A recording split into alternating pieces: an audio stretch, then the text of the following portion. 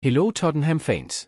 This news that just came out fills us with hope for the continuation of the season. There's just been an uplifting update on Tottenham star James Maddison.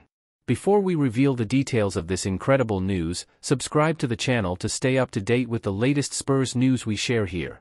As everyone knows, midfielder James Maddison had to withdraw from the match against Chelsea due to an ankle injury, a significant setback for the team.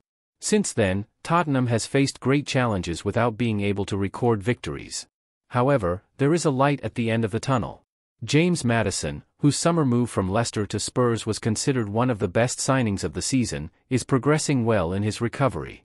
In an exclusive interview for Amazon Prime Video Sport with Ben Foster, the player shared encouraging news about his health. Maddison stated that he is feeling well and that the recovery process is a little slow but steady. Despite his frustration with the injury, the player highlighted the importance of patience in the rehabilitation process.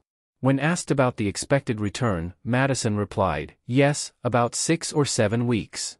Fantastic news for fans who will be able to see the midfielder back in action in the clash against Brentford at the end of January.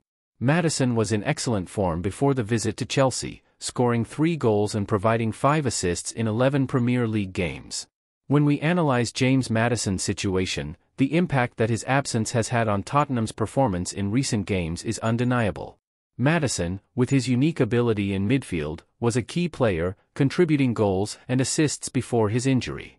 The hope is that, with his return, the team will regain its winning momentum and continue on the path to its goals for the season. But what about you Tottenham fans? What do you think of this news? Are you looking forward to seeing him back on the field? Share your opinions in the comments below. If you liked the video, don't forget to like and subscribe to the channel, so you will receive exclusively the latest Tottenham news that we publish here on the channel. Until next time. Come on you Spurs.